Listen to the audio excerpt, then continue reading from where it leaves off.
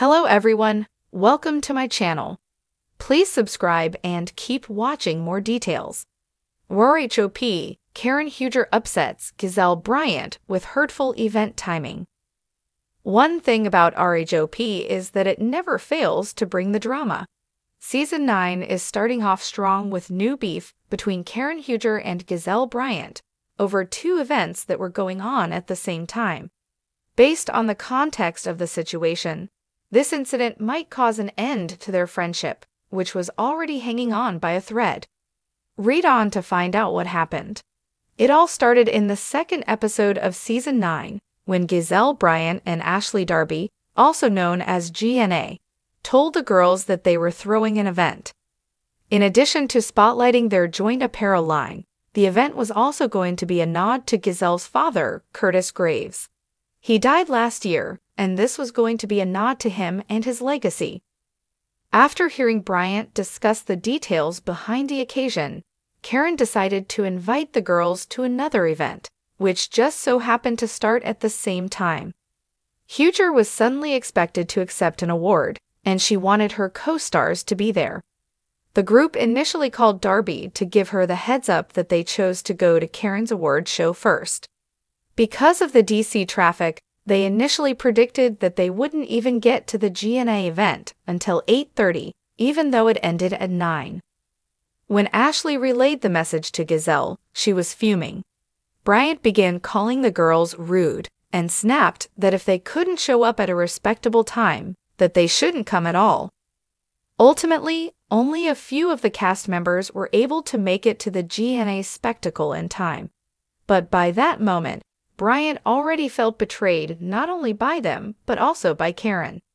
This isn't the first time that Gizelle and Karen have been at odds. Every so often, they seem to be becoming close friends, but most of the time, they are total enemies. No fan could ever forget the season 3 moment when Karen decided to bring the ex wife of Bryant's now former boyfriend on camera. Likewise, jaws dropped in the same season 9 episode of the two event fiasco when Gizelle poked fun at Huger's recent DUI when Karen announced that she was receiving an award. Bryant joked that it had to be for driving into a tree, referencing her co star's drunken damage. Needless to say, this double event disaster is just the icing on the cake to years of a rivalry between the two housewives.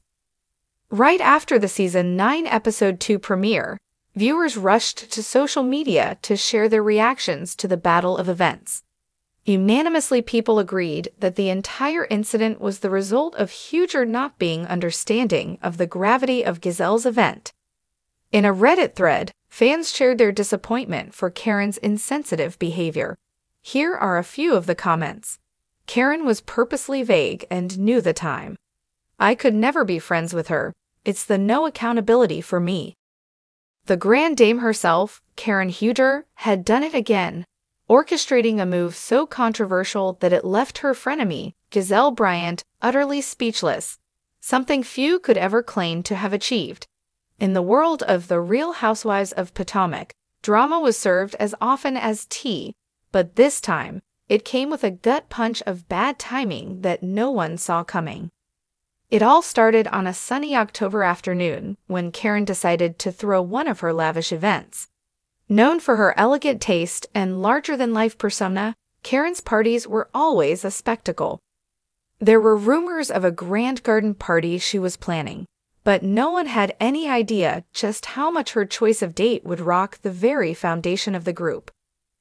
Gizelle, always keeping her ear to the ground, heard whispers about Karen's upcoming event. At first, she shrugged it off. After all, it wasn't unusual for Karen to make her own splashy moves. But then, the details began trickling in the date, the guest list, and most damningly, the reason for the party. That's when Gizelle's blood started to boil. Karen had chosen a date that hit way too close to home for Gizelle.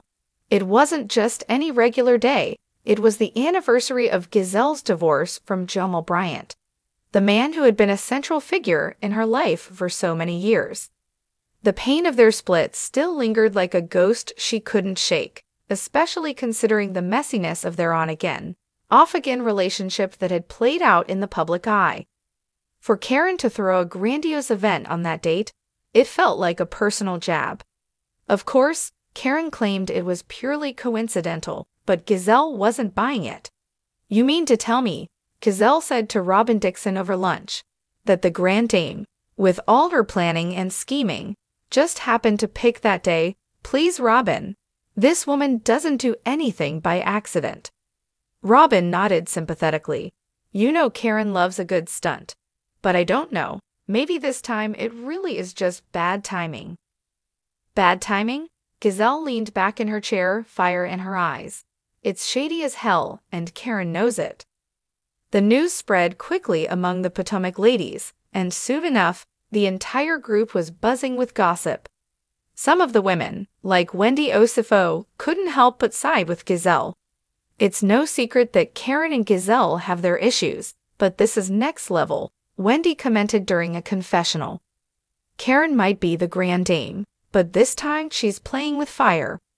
On the other hand, Candiace Dillard Bassett, never one to shy away from stirring the pot, found the whole situation more amusing than offensive. Look, Karen's event is going to be over the top. Do I think she's being messy? Absolutely. But I'm also not going to miss out on that champagne toast just because of a little shade. As the date of the event drew closer, tension between Karen and Gizelle became palpable. Gizelle wasn't one to sit quietly when she felt slighted, and she certainly wasn't about to let Karen get away with this without addressing it head on. A confrontation was inevitable. On the day of the event, Karen's estate was transformed into a wonderland of roses, chandeliers, and twinkling lights. It was the kind of scene you'd expect from the Grand Dame, a blend of old world opulence and modern extravagance. The women arrived one by one, dressed in their finest attire ready to see if this party would deliver more than just cocktails and small talk. Gizelle arrived fashionably late, her entrance making a statement before she even said a word. Clad in a sleek black gown, her eyes scanned the room as she sipped her champagne, her expression tight. The atmosphere buzzed with anticipation. Everyone knew the real event tonight wasn't the party itself, but the showdown between Gizelle and Karen. It didn't take long for the two women to come face to face. Karen, radiant in a glittering gold dress, greeted Gizelle with a smile that could only be described as mischievous. Gizelle, darling, I'm so glad you could make it, she said, her voice dripping with fox sincerity. Gizelle smiled back, but there was no warmth behind it. Oh, you know I wouldn't miss this for the world, Karen. You always know how to throw a party. Karen tilted her head, feigning innocence. Of course, I wanted everyone to enjoy themselves today. It's a special day after all. Special for you, maybe, Gizelle said, her voice lowering. But for some of us, this day isn't exactly cause for celebration. The subtle date was lost on no one. The other women pretended to focus on their drinks, but their ears were fully tuned in to the unfolding drama. Karen raised an eyebrow. Oh, Whatever do you mean, Gizelle?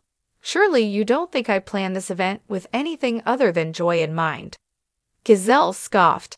Please, Karen, we both know what this is. You chose today on purpose. You've never been able to resist taking a shot at me.